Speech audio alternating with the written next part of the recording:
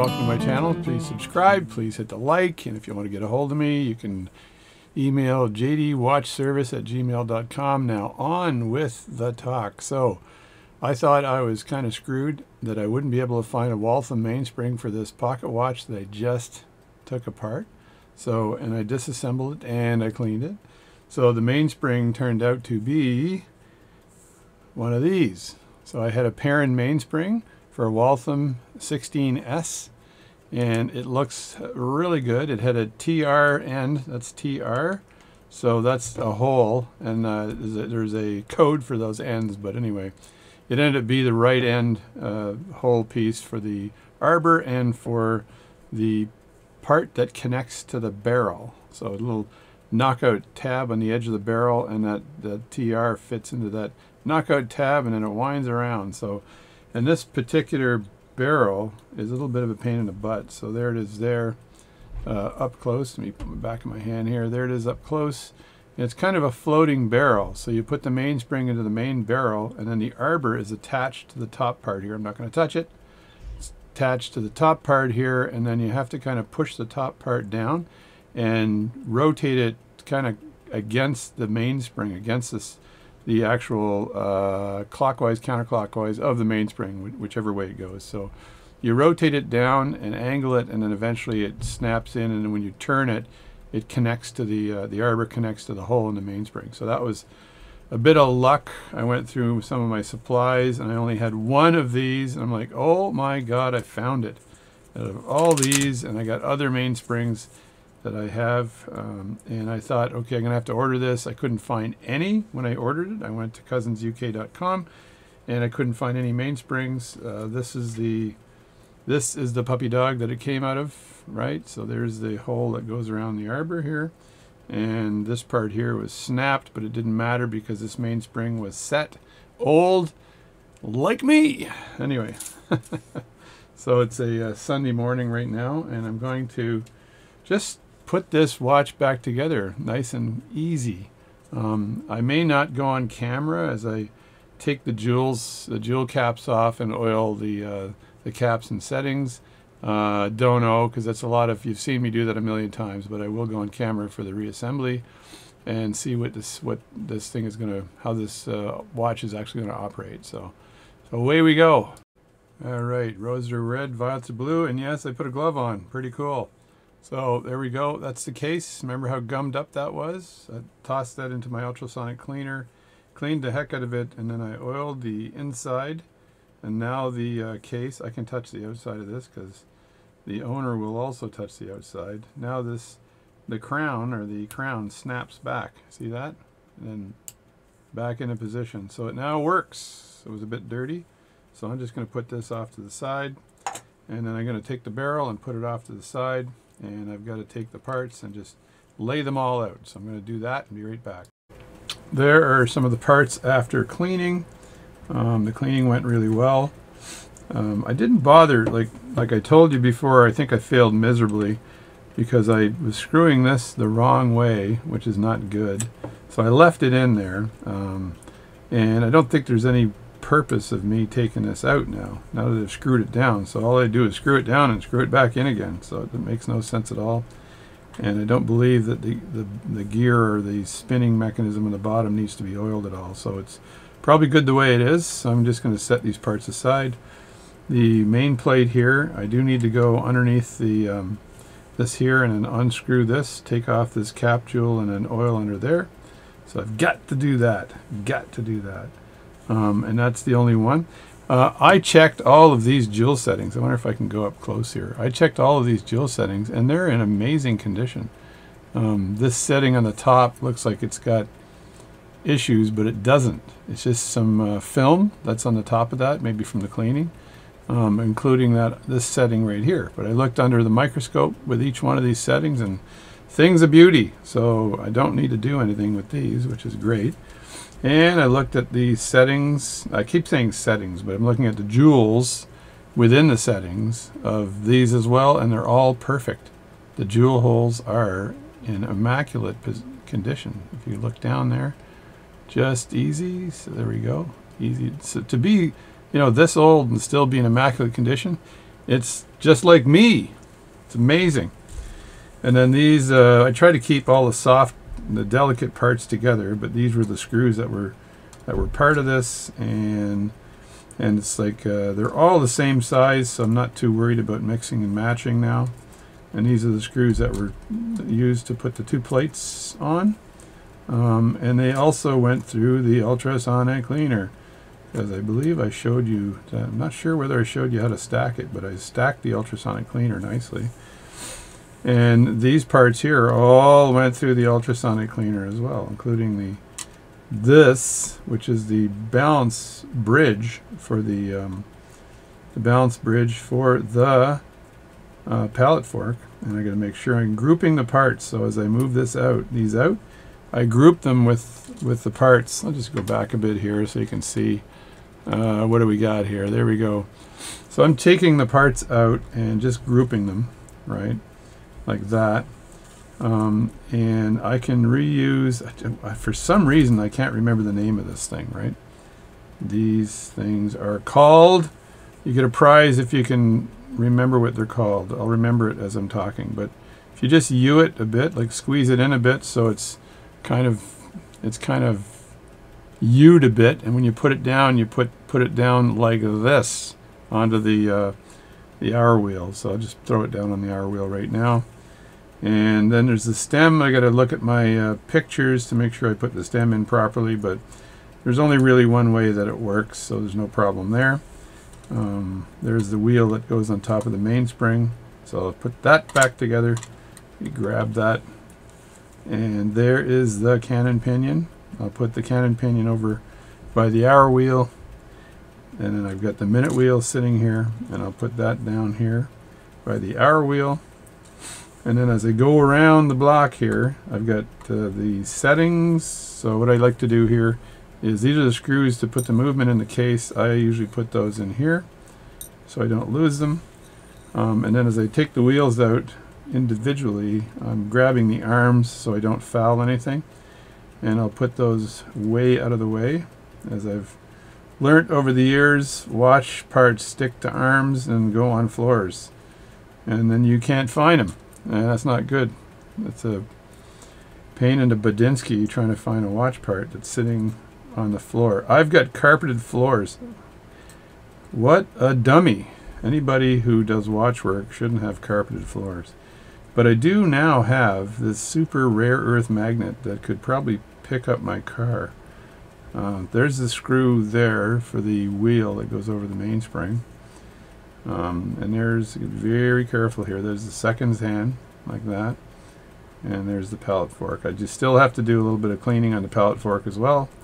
So make sure that's in mint condition and oil it properly. So there we go. So all the parts are now out and we're ready for reassembly. Again, I'm going to use my Myers number 58, Myers number 58 movement holder. And this thing is a thing of beauty. Um, I'm not sure if there was a Myers number 57 movement holder. What do you think? Probably not. So this is the number 58 movement holder, which I adore. This is the world's best movement holder. Just quickly, you press the button on the side here like that, and it releases it to size it. And then you put in the various, these things here, which are depending on what size watch you're working on.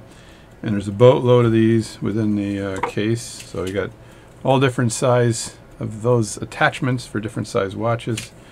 Um, and then as you squeeze the movement in like this, you turn this to tighten it, but it's it's also sprung like that. So when you tighten it, it doesn't put any additional pressure. What I really like about this is these little hooks here, right there, they grab onto the plate nicely. And so you don't have to be concerned with this thing uh, getting out of position.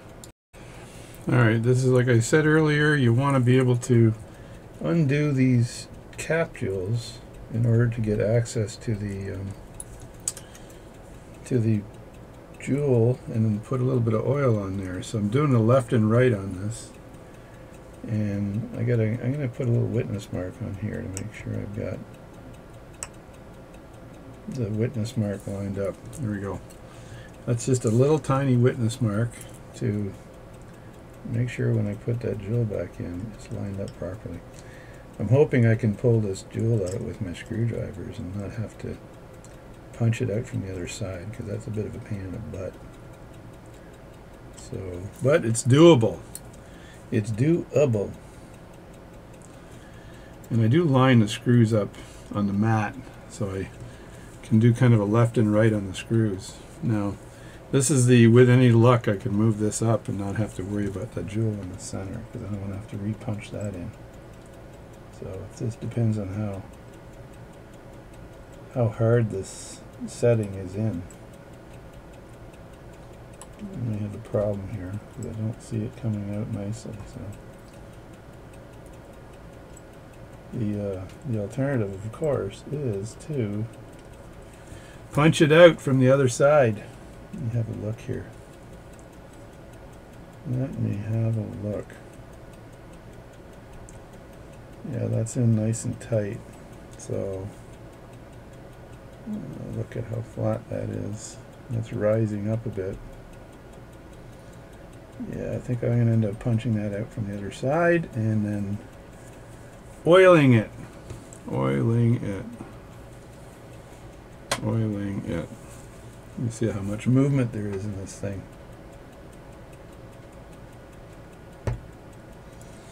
There we go. So I just take a piece of pegwood and then take that out from the other side. And this thing has a little lip on it. And then there's the cap. You turn that around so it doesn't get dirty. That goes in like that. And I'm just going to put this on the mat nice and easy. And then look at this oh geez you know what? It's clean as heck eh? so what I'm going to do is put a little bit of oil on there and that'll oil it properly. Um, now I could turn that in turn that around and put that back in which I think I'm going to do here um, before I apply the oil. So I'm going to do this turn this around place the jewel back in the setting here. Let me see which way does that go looks like it goes like this. Like that. And then I can use my my pegwood to push this down again.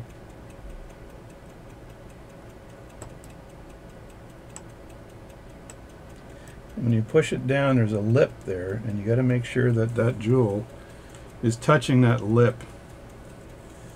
Now to properly apply the um, properly apply the oil you just have to touch it like this. And this is on the cap jewel for the for this. And it's important that that that cap jewel gets oiled. Um, now when I turn this around this is the tricky part. I want to make sure that the the witness mark is on the right side so I'm going to look at this and then look for that witness mark I put in there. There it is there. So you rotate the movement until the witness mark is lined up. Is that the right witness mark? I ask myself? Uh, I think it is. Hard to say. Might be the other one one right here, I think. There we go. So that is the witness mark lined up. Now I have to just drop this in carefully and then use my pegwood to push that down.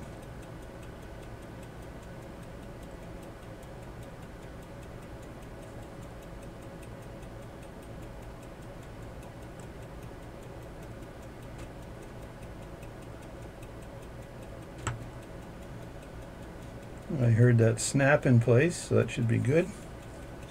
That's oiled, um, and then you put the screws back very carefully to get these right position here, like that. And good news, I'd had two coffees today, but I'm not really shaking that much, which is excellent. There we go. That's one screw, and you don't have to tighten those a lot because if you do, there's a chance that you can strip it because these are stainless steel, these are steel screws. And the plate here, I believe, is not. It's softer metal than, than the screws are. So it's just, that's just a fact. So I'm not going to after this, I'm going to do the, I got to do the balance as well. Um, just reverse that out a bit. Gee whiz, I'm having a hard time here today, folks. There we go. I think that's it. Yeah, there we go.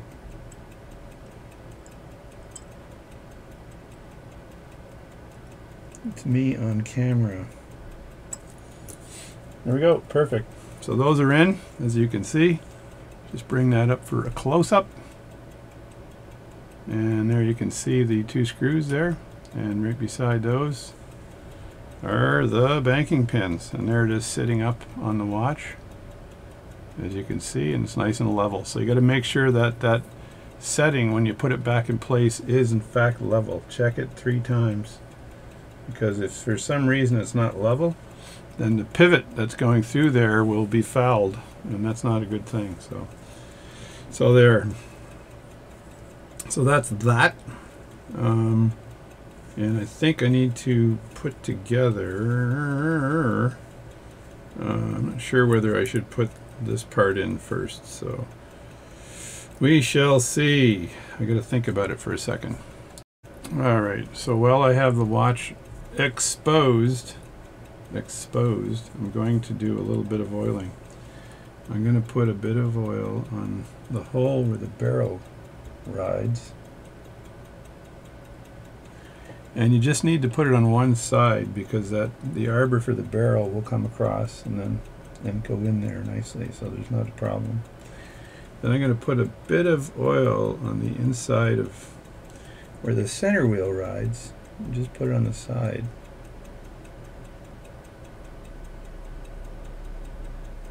like that and that'll be good and I want to I think that's pretty good for my oiling. For now. That's for now. Um, I have a Bergeron Bergeron. I got a lot of Bergeron stuff eh? I have a Bergeron oiling holder. See there we go. There's the Bergeron oiling holder which is really good.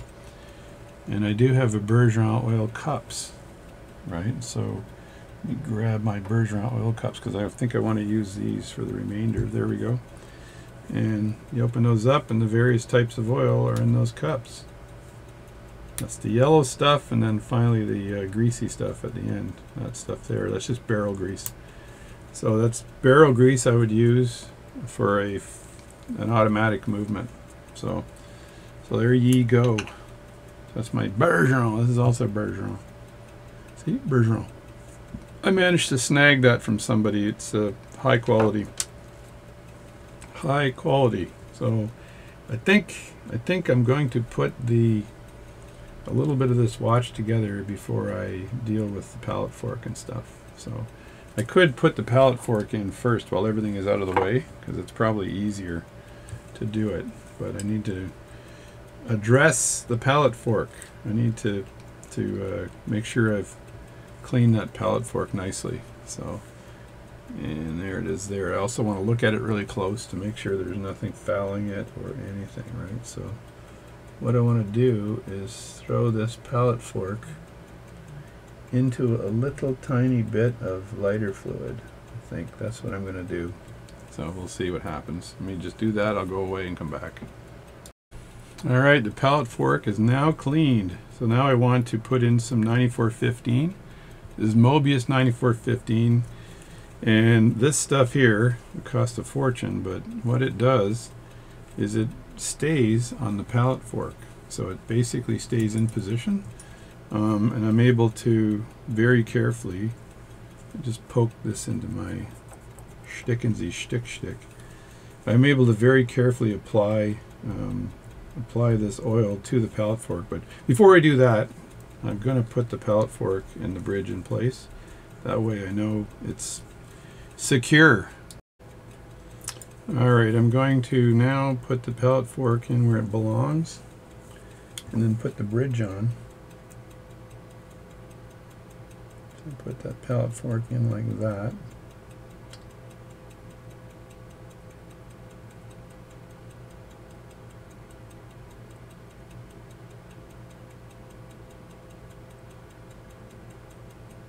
Make sure the end of the pallet fork is is um, the pallet fork pivots are in the holes, so when I put the bridge on, um, I have no issues.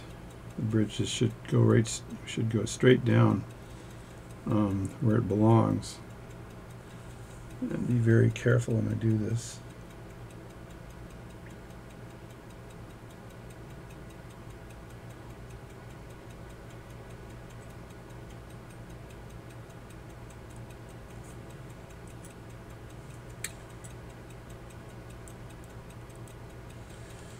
And what I do is I, I can hike this pallet fork up just a bit on the back and hold this in place. And this is tricky because when you're doing this, there's a lot of, basically there's, this can move a lot, so.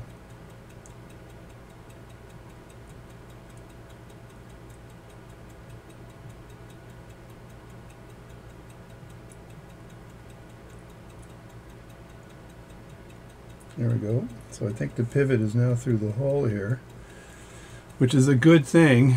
Now I take the two screws that hold the pallet fork down and I tighten those up really loosely. It's funny, it's a double negative thing here happening or something. I tighten them loosely. Does that make any sense? So hopefully you can see what's going on here. I'm going to move my camera in because the cam camera angle is shitty as hell. So let me just move that in so you can see what I'm up to. And I may hit the camera while I'm doing this, I'm not sure, but the other angle was really bad.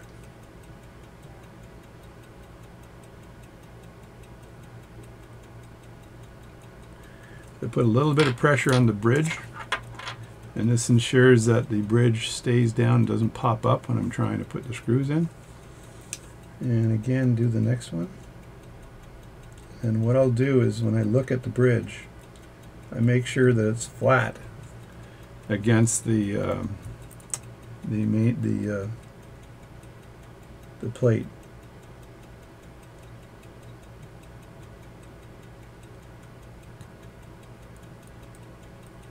There now, just check that. Just check the edges right in here and here to make sure it's flat against the plate. Check the movement of the pallet fork.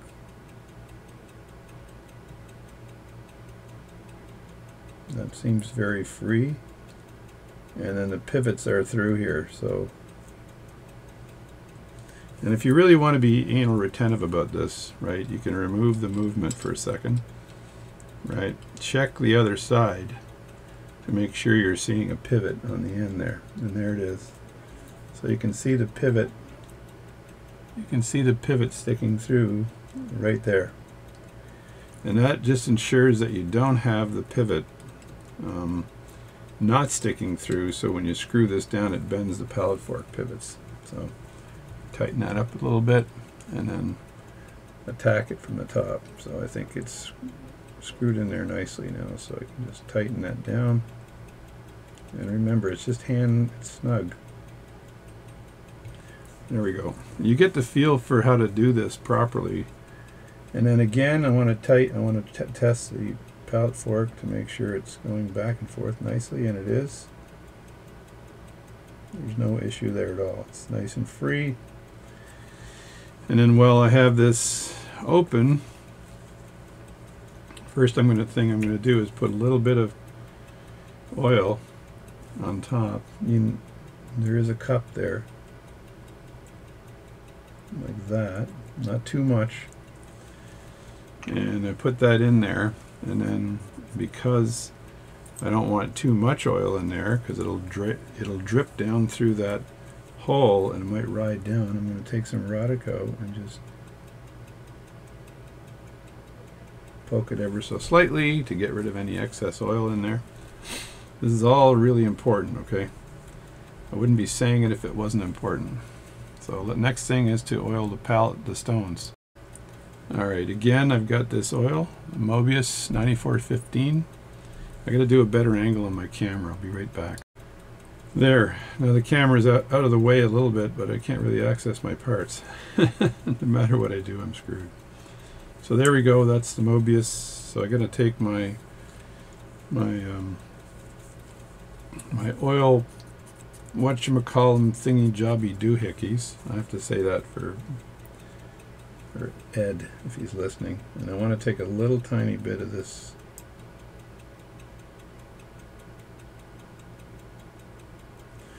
this Moebius oil and I want to place that I can do that showing you here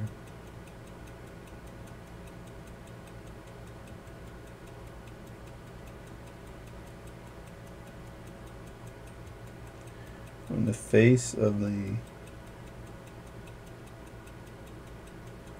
the pallet fork so the stones that stop and release the escapement so I'm going to do the other one now. There doesn't have to be a lot of this oil on there, just a little tiny bit. And you would not believe the difference in performance.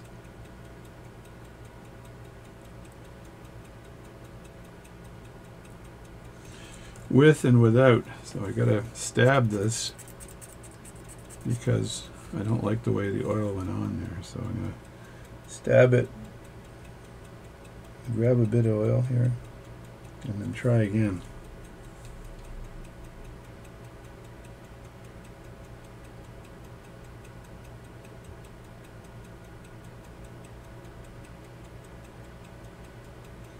All right, that's good.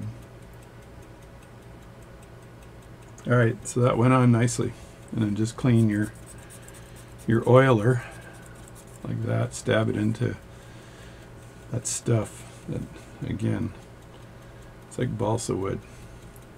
So I'm just going to put my oilers away and put my my uh, 90, 90, 90, 94, 15 Moebius 9415 oil away. This stuff here, this is amazing, this stuff. Amazing. So get it out of the way. And there, so I've got that pallet fork in there nicely. So, so now I can actually, I can put the wheels in, but I don't want to until I actually put the, uh, the setting mechanisms in. So I'm going to just uh, adjust things and get ready to do that. There we go. So this super close-up is causing me all kinds of fun with getting access to my parts and stuff. So again, first thing I'm going to do is I'm going to, this is where the setting mechanism goes in. I'm going to put a bit of oil right in here. And that uh, Again, it'll it'll travel around, so I'm not too concerned about it. And I'm going to put a bit of oil as well right here. And on the back of this. Wherever there's friction, and there's a lot of friction, you just have to make sure it's oiled properly so you don't end up with a problem. So, because friction is Friction is sometimes not your friend. Friction is not your friend. My God, my advice is amazing, isn't it? I'm a telling you. I'm a want to say. Somebody said I got like a golf voice or whatever. It's a very calming voice on how to put together a pocket watch. Mr. Anderson, I believe. And I'm going to get these parts out now that are nicely scrub-a-dub-dubbed and put the stems and stemming uh, stem winding mechanisms together again and figure out I got to look at a picture to make sure I've got this stuff coming in you know being assembled the right way so being the self-proclaimed oil king I'm going to put a little tiny bit of oil on this here and this just feeds in into the mechanism. So first thing I'm going to do, put a little bit of oil on there. And I should, I'm going to use the red stuff. So I'm just going to, uh, maybe later on I'll tell you the difference between the red stuff and the other stuff. And this is just what allows this to slide around nicely. So you just need a dab on there. And just roll that over and put another dab on there. And it shouldn't really touch the mat. There we go. That's all dabbed. Little dab will do ya. A little dab will do ya. For you people that are super old out there, that's Brylcreem. Oh yeah, the old Brylcreem ad. A little dab will do ya. I'm not super old yet, but I'm getting there. Anyway, so I need to put this on. I should tell you the names of these things, right? If I was a good boy, I'd do that. All right, I was a good boy and I looked it up. So anyway, it's called the keyless works. So the uh, part that goes all these stems and stuff, the winding mechanism is the keyless works. So you've got the stem. So this would be the stem here.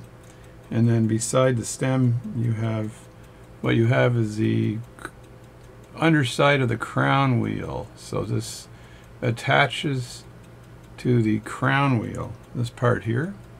Um, and then this is the clutch. So this here is the clutch. Let's see if I can move that over. That's the clutch. So, so that's all you need to know.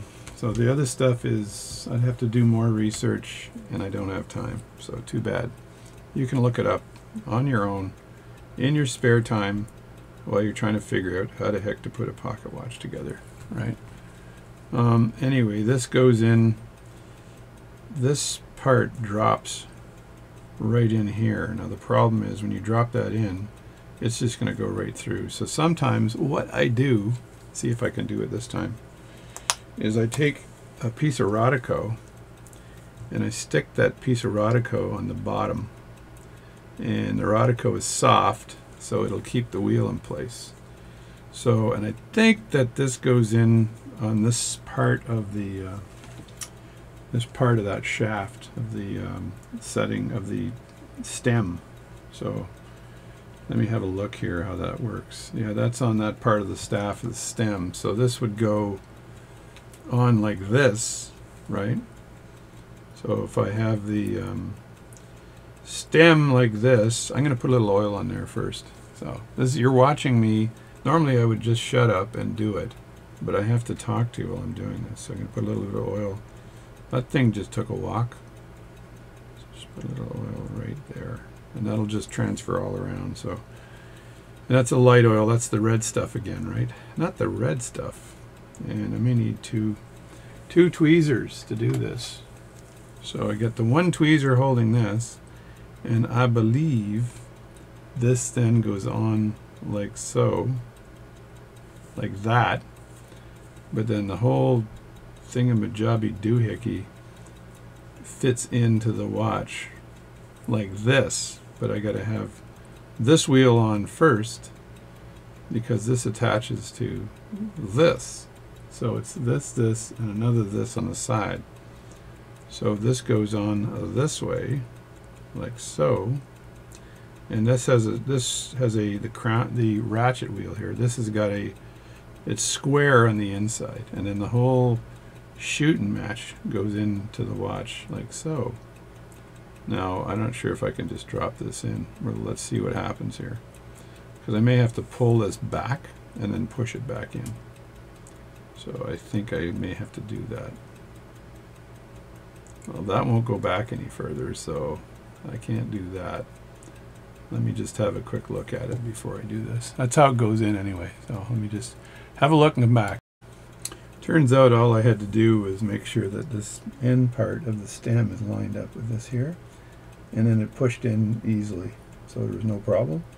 But I'm looking at the mechanisms here and this mechanism here needs to be inside this slot here or else it won't work. And I don't know if I can do that without, uh, without moving things. So I'm just going to, again, I need to fart around with this to make sure I can get it in that slot. And I don't want to break that spring because that's the spring I told you earlier in another video that's, that's impossible to replace. I'm just going to see which way that spring actually moves because I might have to rise this up again like that, get it into the hole, and then move it around again. So I'm going to be, I'm going to play with this for a short period of time to see if I can get that in the slot here. Uh, This is the tinkering with the uh, stems and stuff. This is the hardest part, I think, of pocket watch repair. I think in watches, it just goes in no problem, but pocket watches, they got personalities. So you don't want to force any parts. I don't want to have to unscrew this and take all this apart to do this. And I know I took it out, so I should be able to put it in. So I'm going to take this out completely. Let's see if I can show you where, where I'm at here with this.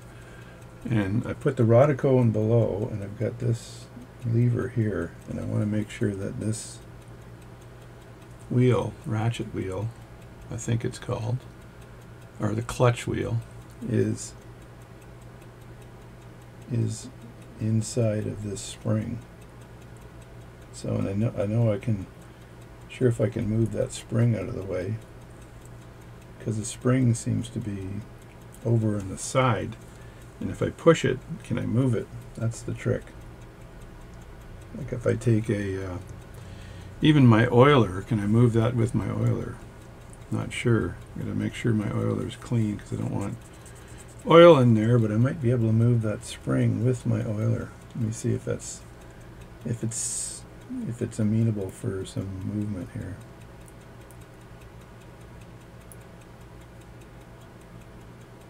It doesn't seem to want to move. So. Doesn't seem to want to move. Anyway, I'm going to come back. There, if I pushed one of the parts out of the way, push that back, this moved, and I'm not sure if it moved enough for me to put this in place. So let me see.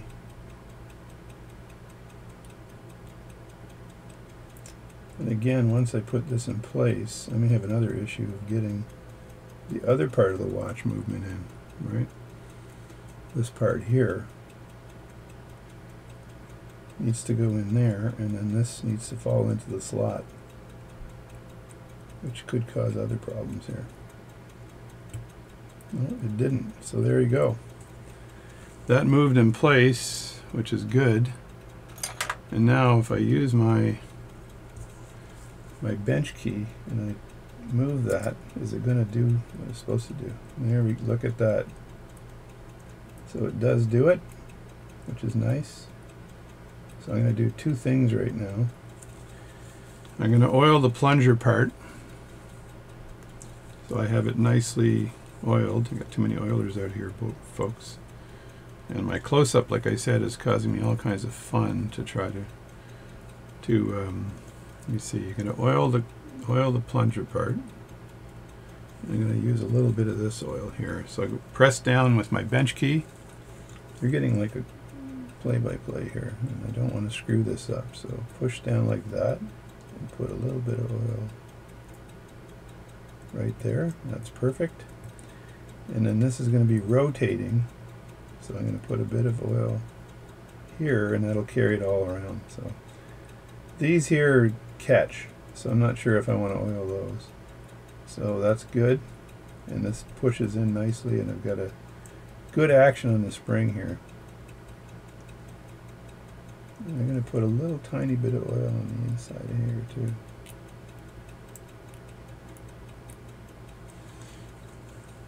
Get some more oil here.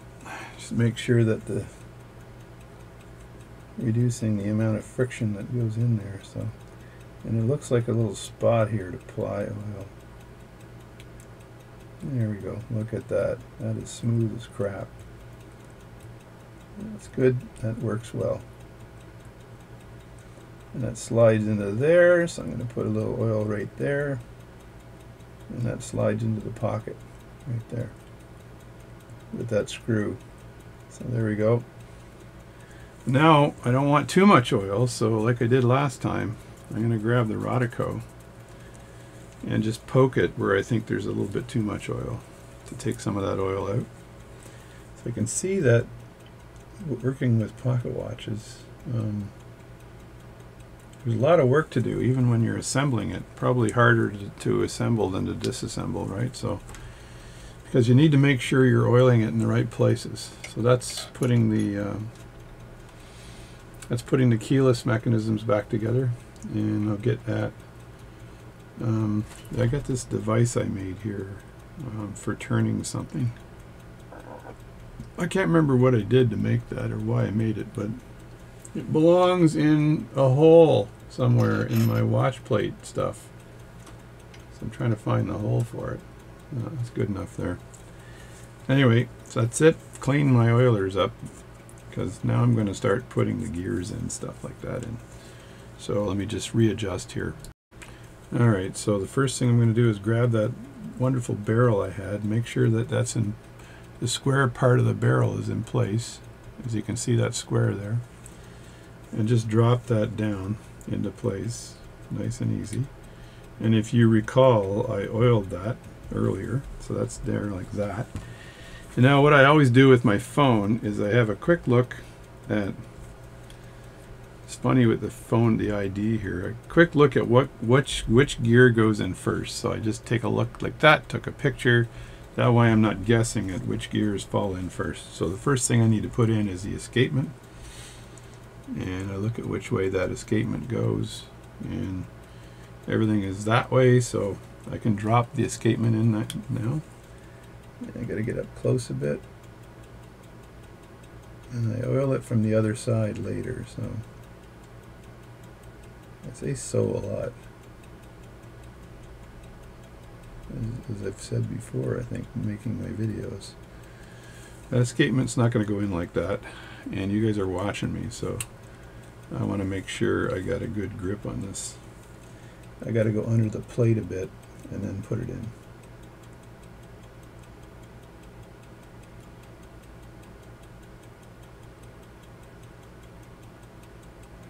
And make sure it's not jammed anywhere like it is right now.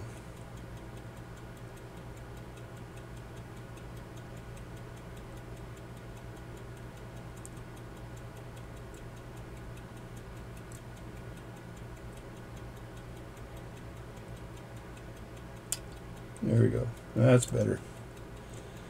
And it's in there and up and down, which is perfect. So that's the escapement. So that would be the, um, I guess the fifth wheel, if you count it that way. That's the fourth wheel goes in like this because you have the second hand going on that. So just drop that through like this. There's the seconds hand. And then I've got the, um, I call it the intermediate wheel, so it would be the third wheel and that goes right on top. Um, so I can grab that by one of the arms ever so carefully and then drop that in here.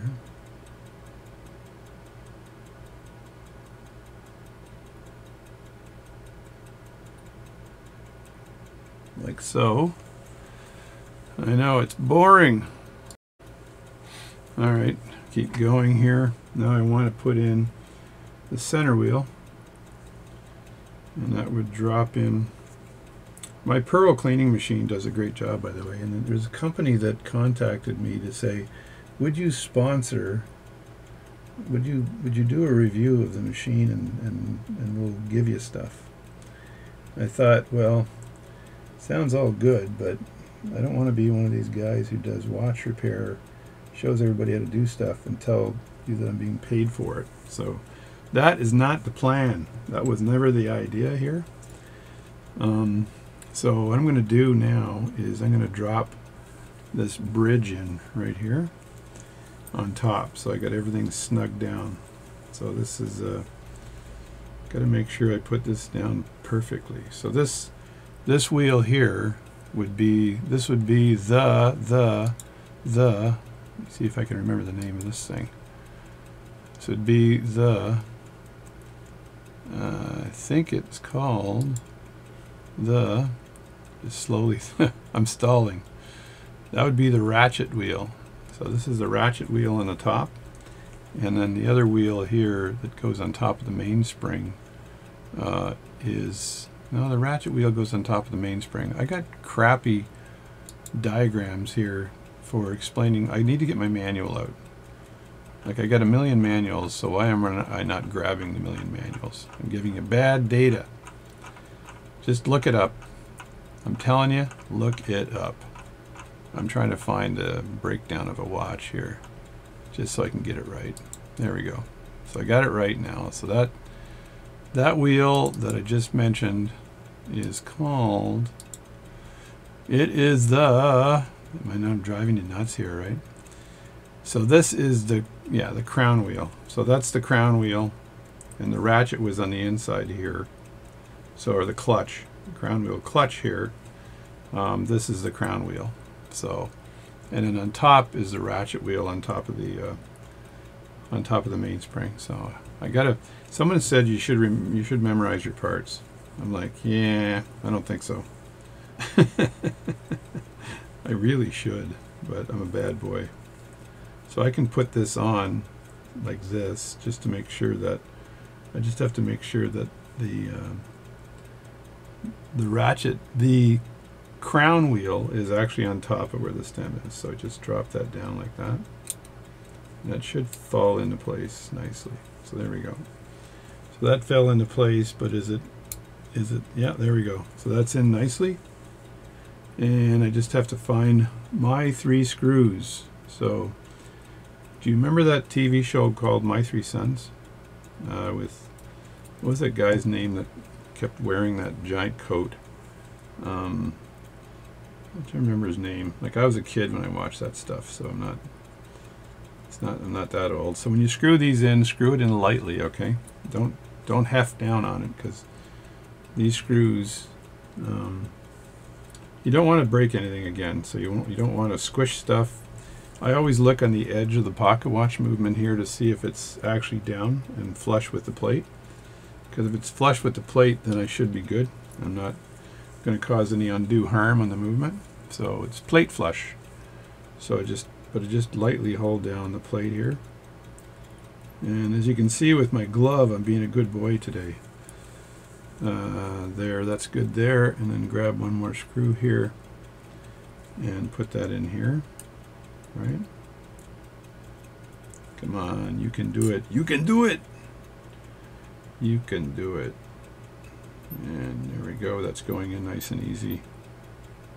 And I'm just going to tighten it just a bit so I've got some, it's down nicely and it's tightened just a bit, not a lot, just a bit. And then I'm going to get the, uh,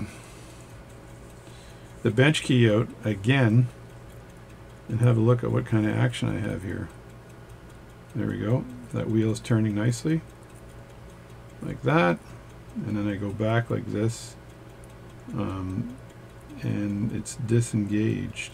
I think that's good isn't it? I'm not sure. Yeah it's disengaged because it's turning the wheel on the other side of the movement. That's a, what's a happening. And I can grab that Rodico from the bottom now it actually fell down once I had all the movement stuff in there. Look at the movement again really nicely to make sure everything is flat in there. And you're not going to squish anything. And then once you're satisfied that you've got uh, that the plate is down well then you can tighten it. But not before. Not before.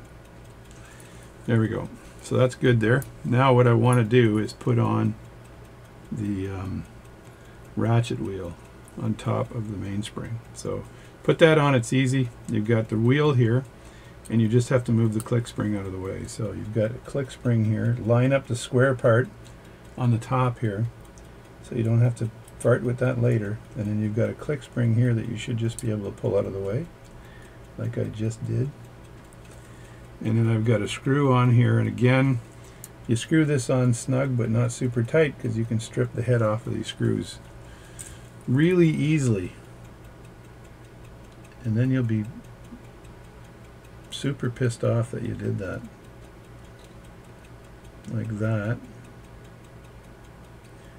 And I can just hold that down while I'm tightening it because it will, I'm just making sure that there's some movement there. Yeah, it's moving because that is actually attached to the barrel underneath and it wants to be snug in with the barrel so there's no issues. So there's it's nice and snug in there but not too snug but just perfect now level of snugness. And now I can put this plate on here which goes on everything and make sure that it everything all the pivots are through there so I don't have a big problem right? So so I'm not going to wind the watch up until I've done this so here we go. We got this hole here then lines up with the center wheel and the rest of it is good to go. So so I just drop this down. With any luck everything is going to line up perfectly. I doubt that'll happen but as you can see um, I'll just put that down and it should find should find home with some of this there we go. That's good. That's good. That's good. You know what? I think everything dropped down perfectly. Oh my god. And the plate is actually parallel. So I didn't have to tweak anything. That was a perfect drop. Now what I want to do is make sure I put those screws in fast. So I don't hit something to make it jump out because that's what I do. So just screw that down nice and like quickly. And again I'm not tightening these. I'm just basically screwing them in but not tightening them. Because I don't want to tighten anything down until I know that all of the parts and the pivots are in the right holes and everything. So I and I can test that in a second once I get this screwed down a bit. And I'll give that eh, don't let your screwdriver slip because you'll scratch the plate the problem with this is that I'm on camera again which makes it a bit harder to do this work so those are not tight so if I had a pivot that was out of place I wouldn't have an issue so two of them are in, which means everything should be in well. Um, and I got to still have to oil the cups on top here to make sure they're well oiled. So I'll just put that in and so I'm not tightening that yet. And the reason for is I'm going to touch the center wheel here just a bit and see if I got movement through the wheels, the wheel train. So it's called a wheel train and I do look like I got movement right to the pallet fork which is nice um, and also then now what I'm going to do is take this movement out and I'm going to look to see that the that all of the pivots are showing here that's there that's there that's there that's there be very cautious of this because that's your second your second hand pivot and you don't want to break that because there's a gentleman who got a hold of me uh, uh, a couple days ago who wants me to fix, to repivot his fourth wheel, right? So again, I'm checking to make sure all those are sticking out, right? He wants me to repivot his fourth wheel because he tried to straighten it and the pivot broke off, right? So that must have pissed him off like exceptionally because that would be that would be very upsetting because now you got to redo it. Now I actually put a hat on a, a hat. I basically built a hat. I'm tightening all this stuff down. So now the next test, I built a hat and put it on top of the shaft of the fourth wheel, and then I made a pivot on the end of that hat. So, which was an interesting way of dealing with it. So now I'm winding this up a bit and hopefully the mainspring mainspring holds nicely because that's a test of that now what you do is you tap the pallet the uh, pallet fork and yes it, it works. It's snapping from side to side so I'm going to give you a close-up of that and we'll have a look at how that works. So there we go. You saw I put a little bit of pressure on the um, on the mainspring and now when I just touch this pallet fork you see that snap over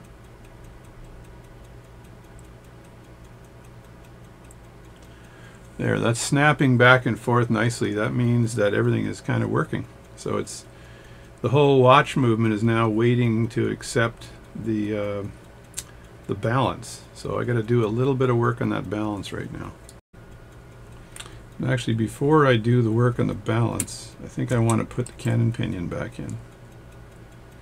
Now that I've got this in place. I can lay that, I should be able to lay the whole thing flat on my mat when I put the cannon pinion back in because I want the pressure to be, you know, equally pressing down on all the back parts. So, and I want to make sure that that that fourth wheel pivot is safe. So, so to put the cannon pinion back in, there's a couple of ways of doing it, right? Um, if it's loose enough, you can just merely put it like this and then slide it in. I like to actually put in the fourth wheel, or sorry, the minute wheel first, right? Like that. Uh, and then I like to take the cannon pinion. Sometimes the minute wheel falls out again once I put it upside down. And the cannon pinion needs to be pushed straight down, right? So what I like, what I do normally, if you do it, I see people do it with their tweezers. They'll take the edge and they'll push it in place. That's all doable. So I can line up, line up the uh, the gears here nicely, and then just push that straight down. See if I can, see if I do that, and I'm a good boy here. So that, there we go. So that worked without a problem. So that is one way of doing it. The other way of doing it is you go in your staking set and you pick up a stake, if this is a nasty cannon pinion, and you actually use this the, the stake to push down the cannon pinion. So it goes perfectly down like that, so no issue at all. Now I could put the face on right now, um, and then turn it around and then install the uh, install the balance. Uh, I'm not sure whether I want to do that. Let me think. Yeah, I could do that because um, I can put the balance on. Let me think. Do I want to do that? Mm, I need some suggestions from people out there. Because if I do that, turn it around, put the face on, I want to make sure there's no pressure on that face. Um, and I want, don't want to install the whole movement until I got the balance in. So if I put the balance in, I can still do this and install the face and keep my fingers away. So let's just do the balance part first. And you got to watch this because that, that minute hand might just pop out. There we go it just decides to fall out. So, so I'll put that minute hand back after. Back after. Now again, when you're moving parts around on your mat, you just make sure they're out of the way because I, I didn't do this, but I could have put this down on the minute hand, right? And that would have been a nasty day, right? So make sure your parts are out, out of the way. So I'm just going to set this up in a way that when I put the, uh, the balance back in, um, it'll receive the balance and I don't have any issues. So put that in and snug it up.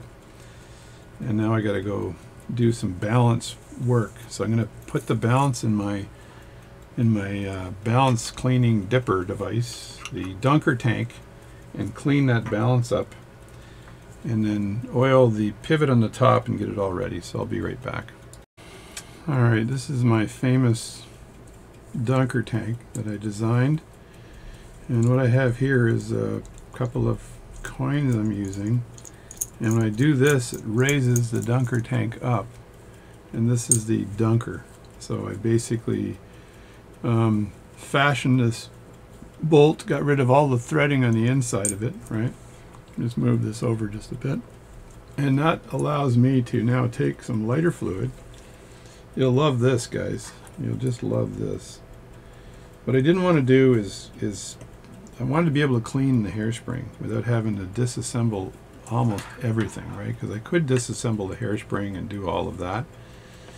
But really what I want to do is make sure that hairspring is absolutely clean, right? So I have no issues. So, so if I put some lighter fluid in here, into the, uh, the dunker tank dunking part, like that, and then I basically take the um, the watch balance here, the balance cock, lift that up carefully, like that, and then I put that onto, this is the hard part, lining things up. I put it on like that, and as you can see, the balance is now floating in here, right? So now I can rise, raise this up, right? with my with the two coins coins I'm gonna end up going to jail for drilling a hole in a coin and get that out of the way. And so now, just make sure that the dunker doesn't raise the balance up. So we got that in place like that.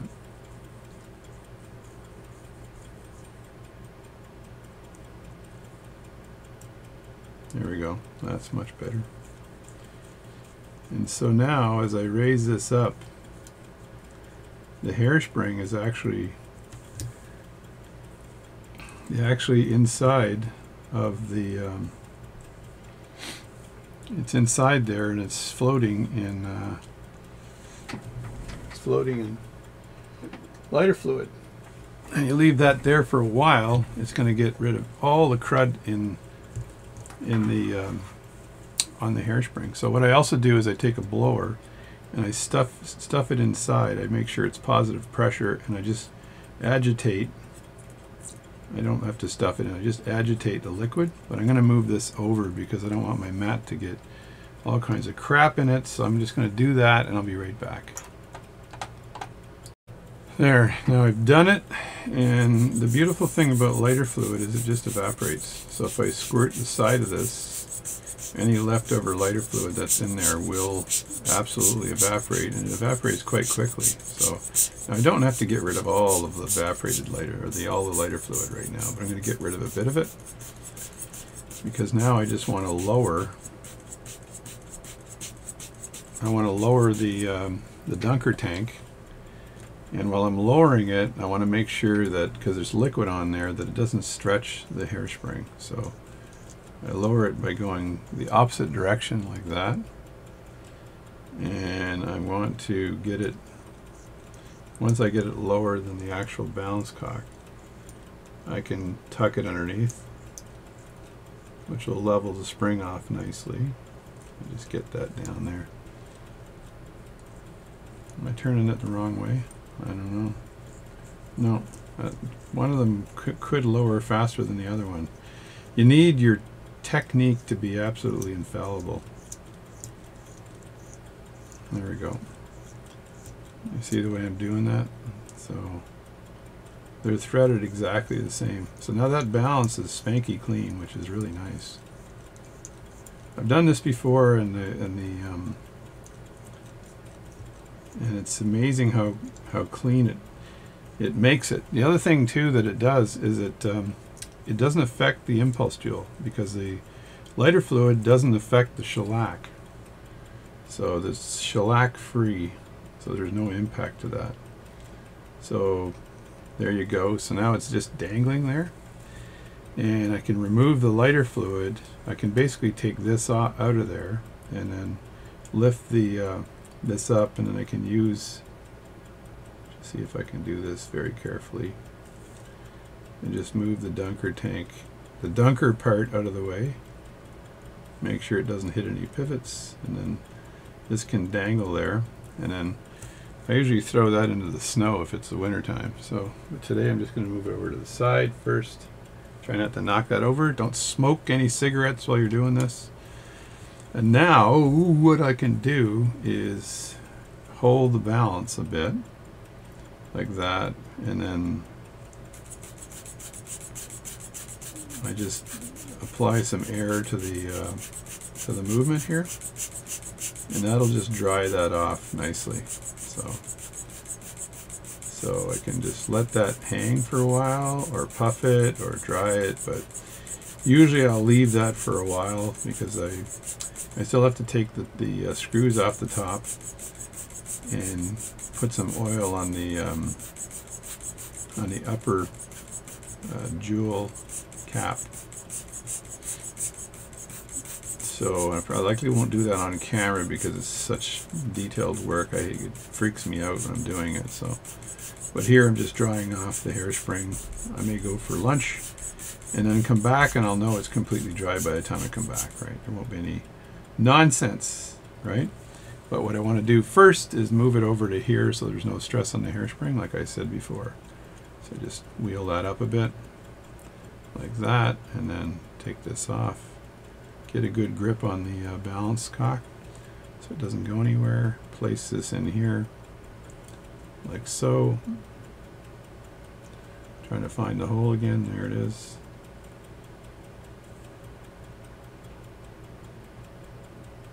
There we go. I'm just making sure everything is lined up.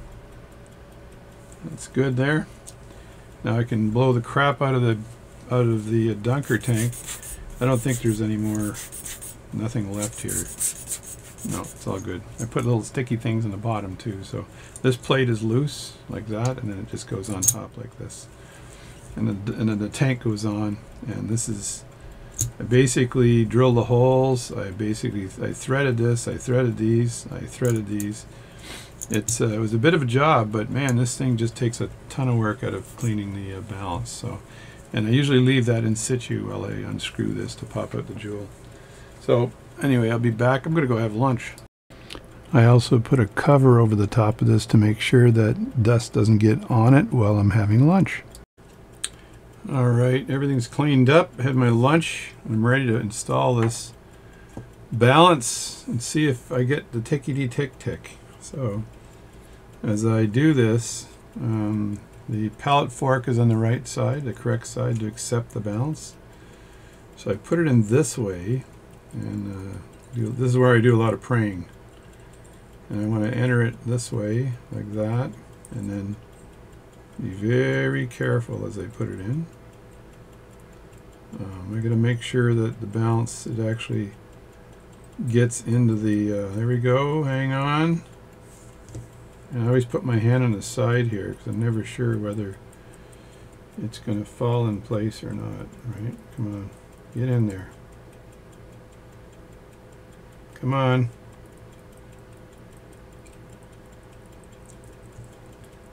All right, so I got action. Now, as you saw before, there's the screw. I've got it on this piece of Rodico. And when I put this on, then I'm going to hold this down just a little bit so it doesn't jump around. And again, you got to make sure that the balance is in place without any problems. So in this case here, I'm going to, it looks like it's running nicely actually. I just press down here a bit. And I'm going to check it for magnetism as well because it's a very old watch and it might be magnetic. So it may have some magnetism. Alright, so that's not tightened yet, but it's tightened a little bit. Make sure the plates are good. It's ticking nicely. And then I'm going to tighten this down a bit and do a little bit of praying here. Okay, here we go. There, tightened. Now I am going to take a quick slow motion video just to see what kind of amplitude I'm getting here. It'll get better as this thing works itself into. So just take your iPhone, do slow motion for three seconds, and then play it back and see what kind of amplitude you get. Yeah, that's not bad. It's about 360 degrees. So that's just just under, no, that's 360.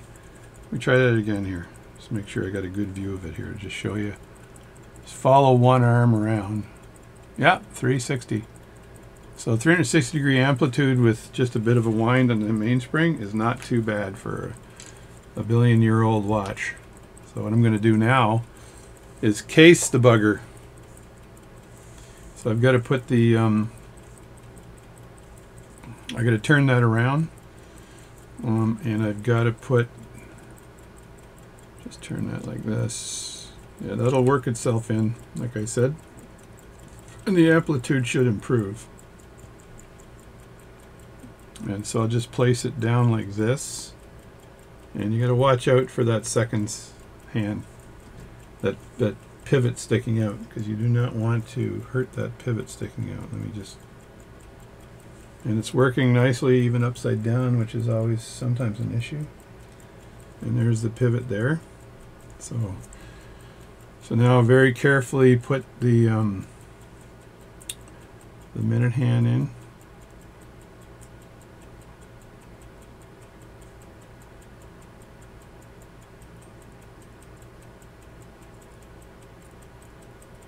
You know, it's much easier for me to do watch work on my own watches because then I'm not worried about customer satisfaction. There we go. Drop that down, and then I've got this to put in. And I already have the, uh, whatever that thing is called. For some reason I can't remember, and I got a bunch of them in a box. So that's that. And now I've got to loosen the screws for the face.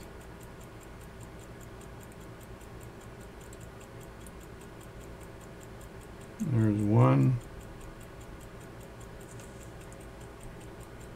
I need to put my glove back on. I forgot my glove. But only touched the side there, so it's not too bad.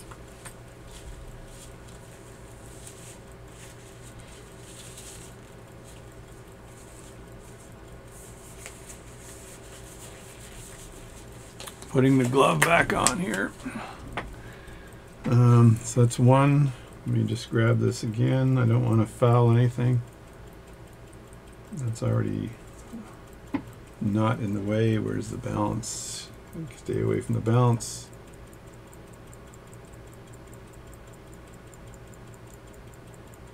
There's another one. Move that around.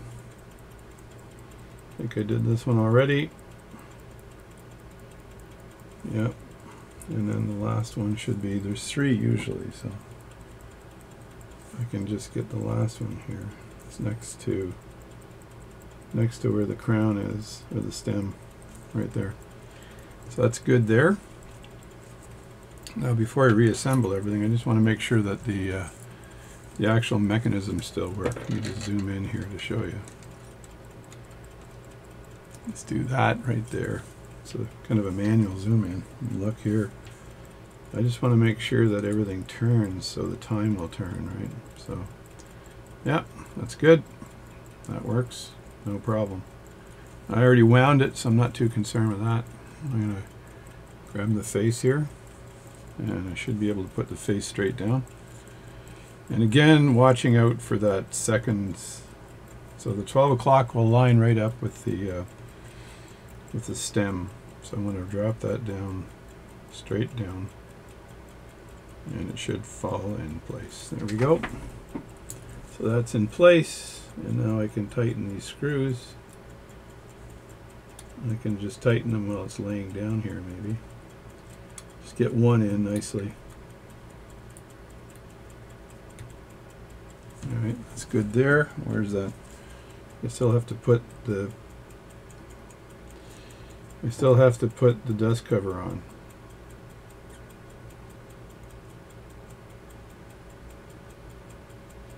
I'm being really careful because I'm right next to the balance right now and I don't want to foul that. So that's two and there's another one here.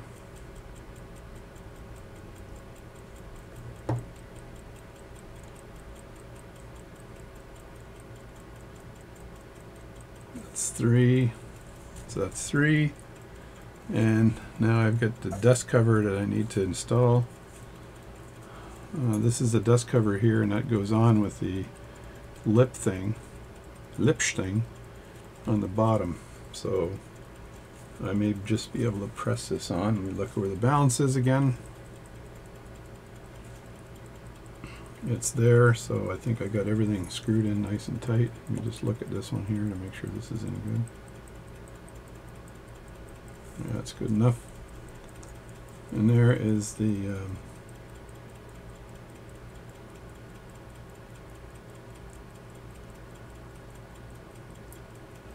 shield. The shield. Now, theoretically, if I just push down on this, it should snap into place, but I may have to move some stuff out of the way a bit to get it in. It's never easy I'm going to go away because I'm going to use my fingernails on the edge to get that in. Alright, that was easy. I just took my fingernails and I just pushed down on the edge to make sure it snaps in over everything. So that's good there. So it's it's in. It's ticking away nicely still. And I'll just, I'm going to throw a magnet on top just to see if it's magnetized. hang on a second, or compass rather, not a magnet and see if it just rattles a bit. So you just put the compass down like that And look at that.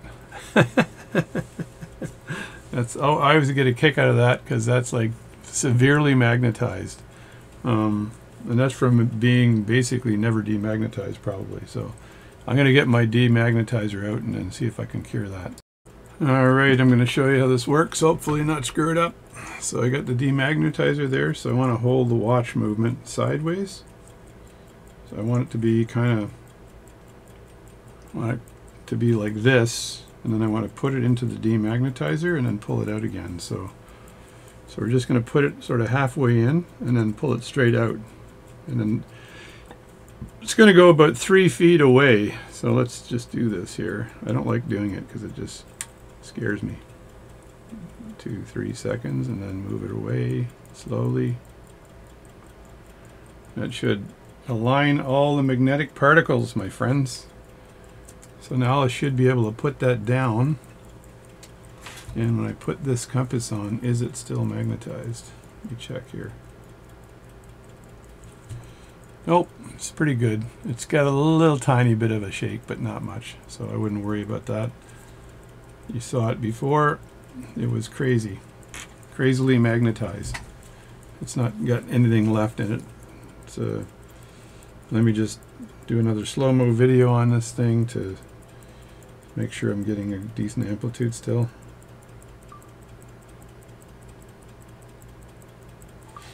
Alright, it might be better when it's demagnetized or yeah, still getting 365, but no magnet, no magnetism, which is great.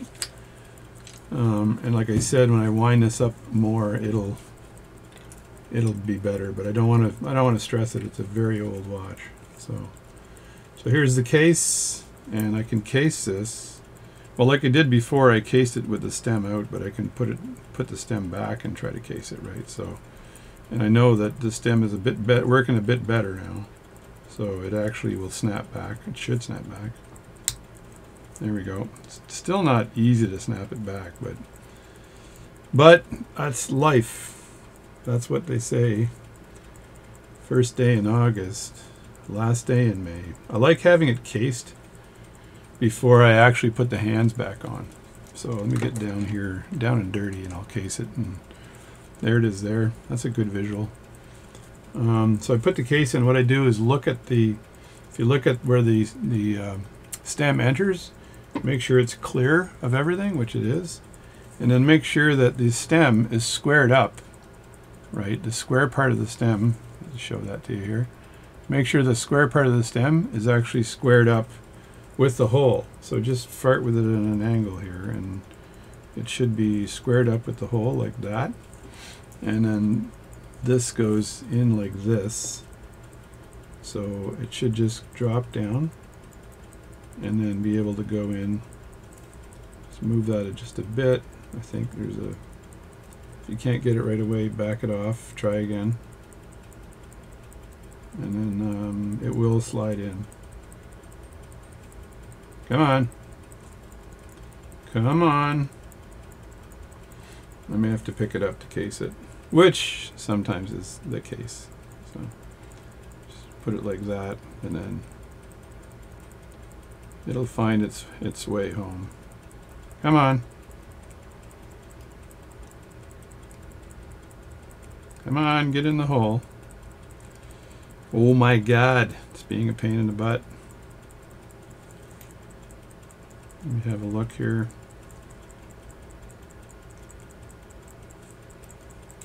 There we go. So now it's in. And I usually, when I put the screws back, I just zoom out here a bit. I like to hold on to it when I put the screws back. Now I got to find the screws. Where did they put those? Oh yeah, they put them here.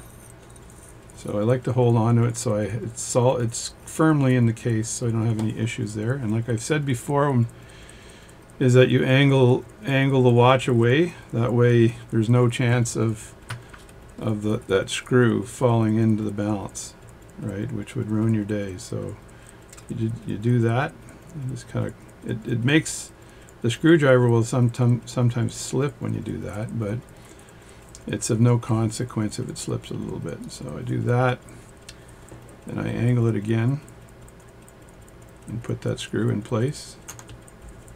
That's angled again. Get a better view of things. Things. I got my hand in the way a bit, so I apologize. And just screw that down nicely. It's gonna be a long video, man. Hopefully you're you're good with that. Somebody said they bought some popcorn or something and watched the video. So now I've got it like this. I'm going to just scrape some Rodico on the inside of this of this case just to make sure I don't have any leftovers in there, right? So, and that's pretty clean on the threads. And then this was in the ultrasonic cleaner, so it's spanky clean. And I want to cover that right now.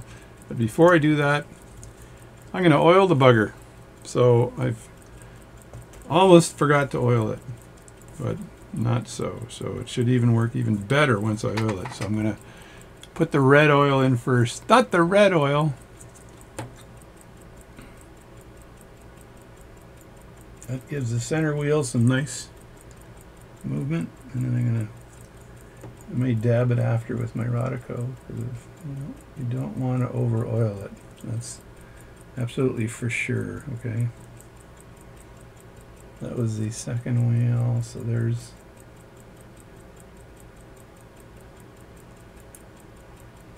That's the fourth wheel, and then I get the blue oil for the escapement. And that's the, uh, what is it, 90 something. So I'll show you the oils in two seconds. There's the other oil, so that's good.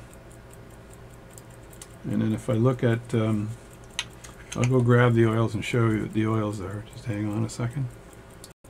All right, let's talk oils for two seconds here. So this is the uh, Moebius, this is the 9010. So that's the blue oil, and that's used around the uh, balance and the, uh, and the and the escapement, and no more than that. So that's a very fine blue oil. So synthetic oil, I call it the blue oil. Anyway, that's the thinnest oil, and that's uh, used in parts of the watch that has the least amount of friction.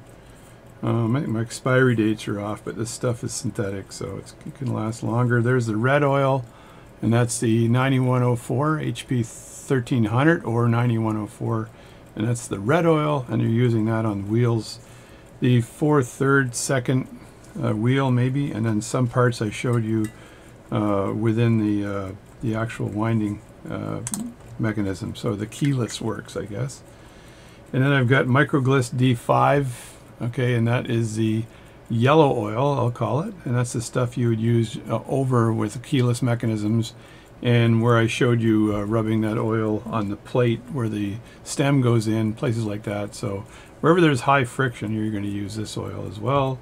And then there's um, natural grease. So this, this oil is actually used uh, as a braking oil, and that's if you have a automatic movement. So looks kind of like this, like that. So that you'd put that in the barrel wall and then use that as a natural grease in the barrel wall as a braking grease. And then the last oil I showed you was the one you use in a pallet fork, which is the, the 9415. So those are the oils. All right, the other thing that didn't happen is I uh, put the hands on. It didn't seem to record uh, putting the hands back on, so I might have missed a bit of video there. But as I later explained, uh, I put the uh, hour hand on first, set it up to 12, put the second hand on, I push that in I just I just sort of tip it on the edge, make sure that it's on the pivot, and then I press it down with the back of my tweezers lightly, and then I then once I've I ensure that that's clearing the second hand, and then I put the minute hand on, and as you use your hand removers, you've got to make sure the hands are flat, so you go either left, right, up, or down to make sure that they're flat and there's enough real estate in there. I've got other videos on how to do that, um, but I forgot it didn't record for some reason. All right, I want to make sure that the minute hand is clearing the crystal, so there's no dragging issues there at all, right? So I got to find the slot for the uh, for this bezel to catch on to. So like that. No, that's not it. No. I can put take my glove off now. Whenever you feel a little bit of pressure at all, back off so you don't ruin the watch. That's that's a good a good habit to get into. So let me see, is that no, that just feels it feels good, but it feels like it's not going on right. Just keep playing here. Some of these old watches, the threads have personality. And you don't want to strip the thread on it, so just take your time, put it in, try it out, back it off. See, it's too wide on this side, that's the problem. So back it up. Doesn't let's try another situation or position here. And try it again. There we go. You see that? Just play with it a bit until you got it. Now I want to make sure there's no scraping here, that it's completely free, and I believe there's no problems. And what time is it? 246, so I can just move that around to 246. And I'm hoping when I snap that in, there's no problem, right? 245, 246, I'll make it 247, and then push this in. And it's pushed in and it winds. That's a good thing. All right, I got it all together now. It seems to be running perfectly, no problems at all. It's a, uh, it's a good, it's a great old watch, man. It's a great old watch. It's fully wound up. I wouldn't recommend the owner wind it up, like fully wind it up, only because of the, uh, it's a, it's an old watch and I'm not sure what that'll do to it. But it's running nicely. I'll have to time it to see how well it's doing, but it looked like it had a at least a 300 degree uh, swing on it and it'll work itself in and be a little bit better so so there you go hey this is JD again welcome back so that was quite an adventure with this pocket watch the assembly of it the oiling the everything so the big thing here was I was able to find a Waltham a spring I think the length of it might be a little long I'm not sure so I just recommend not winding it all all the way to the end because the length is is uh, probably a little long. The strength was perfect and the width was right on the money. So it was absolutely perfect. So there's no issue there at all.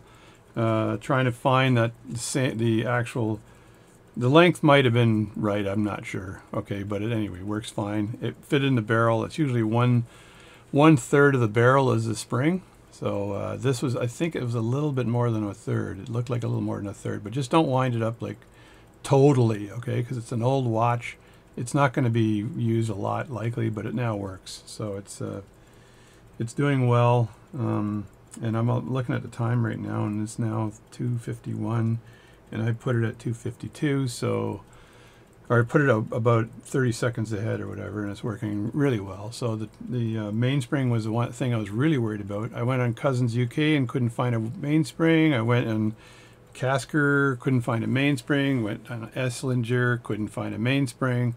And then I looked at my own damn mainsprings, and guess what? I had a mainspring. It was amazing. what are the what are the chances? And like I said before, the mainspring that was on there already, it was uh, it was set. So it was. Um, I don't see if I have it in front of me here somewhere, but it was a set mainspring, which means there's there's basically wouldn't be supplying any power. That's what a set mainspring looks like. Um, and when you get a real mainspring, they're stretched out like this, and then the end actually goes the other way. So it actually coils the other way, kind of like an S. So that was a bit of a B-otch to put back in, but it worked well. I got it in.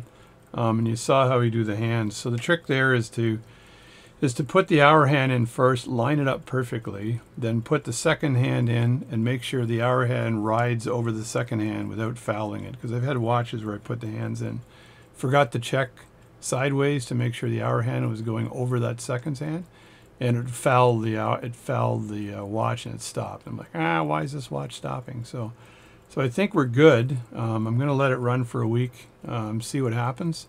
Uh, make sure I can still wind it, make sure there's no issues there at all um, because when I first got it, there was a bit of grinding uh, uh, over that uh, the the actual crown wheel, and so the crown wheel might be able to go down a little further, but but I left it the way it was. Um, and if I have to do anything, I would take the crown wheel off and see if I could lower it. Not sure if that's possible, but I think we're good. I wound it up; it's working perfectly. Um, but again, it's a very old watch, so I'm not expecting the owner to to run around with this in their pocket. Just buy um, one of these, and you can and you can keep keep time really well.